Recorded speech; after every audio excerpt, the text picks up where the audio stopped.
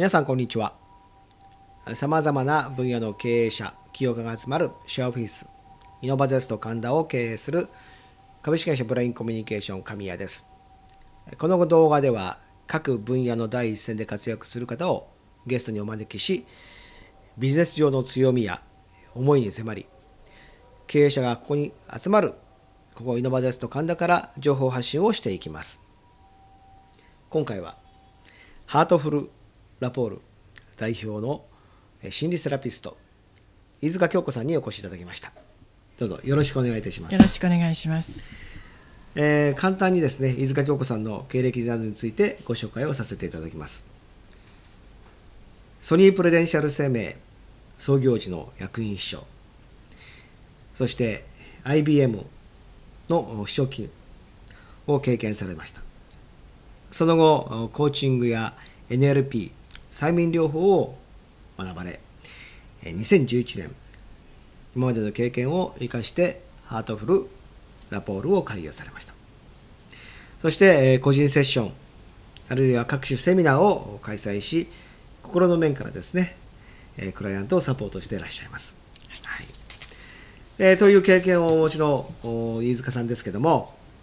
人の心に関する仕事をしようと思いになったのはそのきっかけちょっとお聞かせいただけますか？はい、はい、えー、先ほどご紹介いただきましたようにコーチという仕事を十何年前にしておりました、えー、その時のクライアントの方が起業している方ですとか、うん、個人事業主の方営業職の方それから大きなグループのリーダーシップを担っている方などがいらしたんですね、うん、えー、テーマはビジネスですから皆さんこう自分をビジネスに駆り立てるようなそういうお話がたくさんあったんですけれどもある時に急に、えー加速していたものが急に減速する、うん、まるで大きな荷物を背負ってそして全速で走ろうとしているから無理があるみたいな、うん、そんなことを感じるようなことがあったりしました、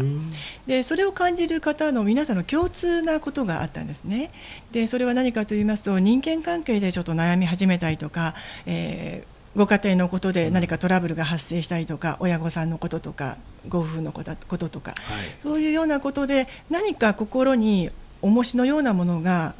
生まれてしまった時に皆さんのビジネスにかける力というのがすごく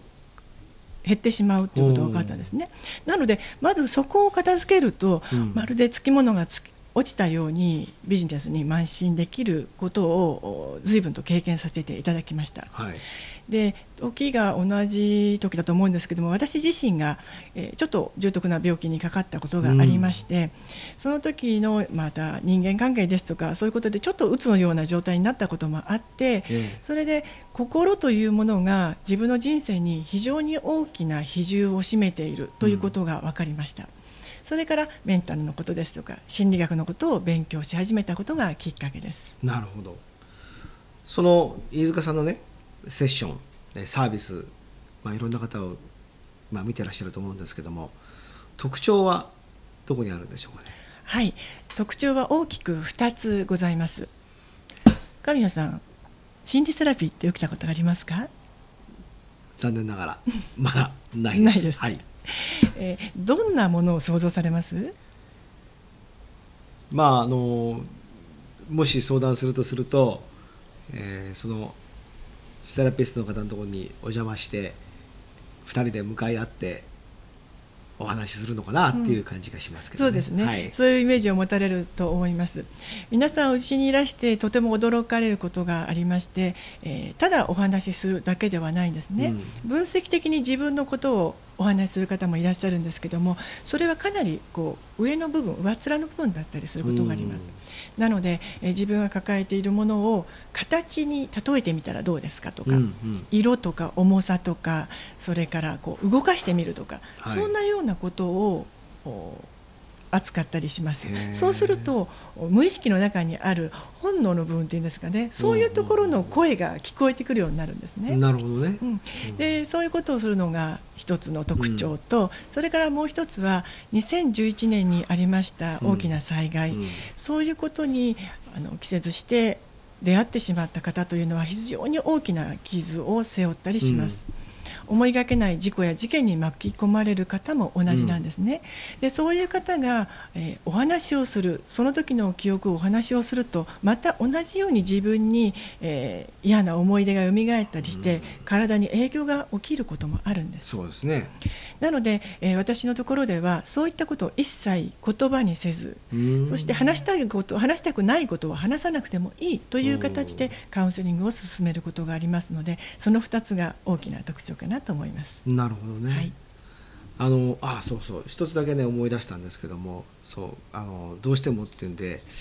あのセラピストらしい方に1回だけ30分ぐらいね、やったことがあるんですけども、喫茶店だったんですね、ええ、なんか喫茶店でやるのも嫌だなと思ったんですけども、あのまあ飯塚さんがねクライアントと接する際にですね、はい、えー、特に気をつけてらっしゃることありますか？はい、えー、やはりこう心の問題はセンシティブなお話ですよね、はい、だからその方が安心して、うん、ここが安全であるということを認識していただくために例えば、えー、クラントさんの方にお座りいただいてからじゃあ私はどこに座りましょうかというふうに決めていただくこともあります。それからおかけになってこう部屋を見た時に、えー、部屋にあるものからたくさんエネルギーををもらったりそれから気になるものがあったりすることってあるんですねなのでお部屋のしつらいも非常に気を使ってその方のマインドとか、うん、それからこう視覚の中に邪魔なものがないようにそういうことにも気を使っております。なるほどね。すごく安心できる場所なわけですね。そうですね。なるほど。はい、あのそういうふうな安心な場所を提供されるとやはりクライアントとしてもですね非常に、うん、えー、信頼できるようなイメージが湧いてくるのかなと思いますけどももちろんその他にもですね、えー、今セミナーとか、はい、えー、かなり人気が高いセミナーやってらっしゃるようですけども、はい、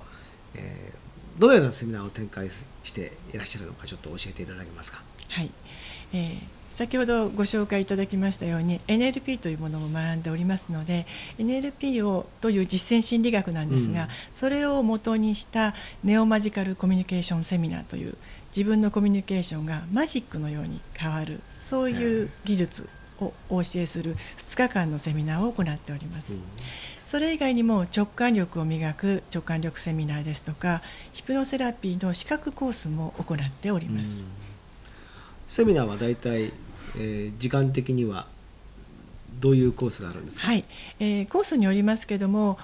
朝10時ぐらいから5時ぐらいまでの2日間のコースですとか、うん、短いものですと3時間の段階か5回後のコースとかにするようなそういうこともしております。なるほど。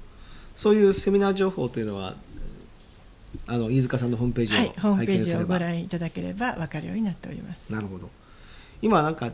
直近でですねお伝えしたいセミナーというのはございますか？そうですね。毎年9月にあの直感力セミナーというのは行っておりますので、えー、ホームページの方をご覧いただきまして興味を持っていただければいいかなと思っております。はい、はい、あのなんか安心できるね飯塚さんだったらぜひそういうのに行ってみたいなという気持ちも 出てきますけども。ありがとうございます。あのこうした活動をですね続けていく中でですね最終的な、まあ、飯塚さんの目標というのはどういうものなんでしょうか？私の目標は、えー、皆さんどういうふあ生まれてきたのは、うん、自分が幸せになるために生まれてきてると思ってるんですね、はい、なので、えー、自分の本質の輝きを取り戻して自由に生きていただきたいと思っております、私が尊敬する方で、えー、マザー・テレサという方がいらっしゃいまして、はい、その方のお言葉に「あなたはあなたのままでいい」というのがあります、私も全くその通りだと思っておりましてどんな状態で、えー、お越しになる方もその方はそのままでよくて答えは全てご自身の中にあるんですね、うん、でそのご自身の答えを自分で理解できるようになると本当に自由に軽やかに日常を送っていただき素晴らしい人生を送っていただくこと。それが私の使命というふうにも感じております。なるほど、はい、あのぜひですねこの動画を見られているお客様もですね、えー、何かちょっとでも飯塚さんに興味を持たれたり質問したいなと思ったらぜひお問い合わせをねしていただきたいと思いますけども今日は、えー、ありがとうございました。今回は、えー、ハートフルラポール代表の飯塚京子さんにお越しいただきました。ありがとうございます。ありがとうございます。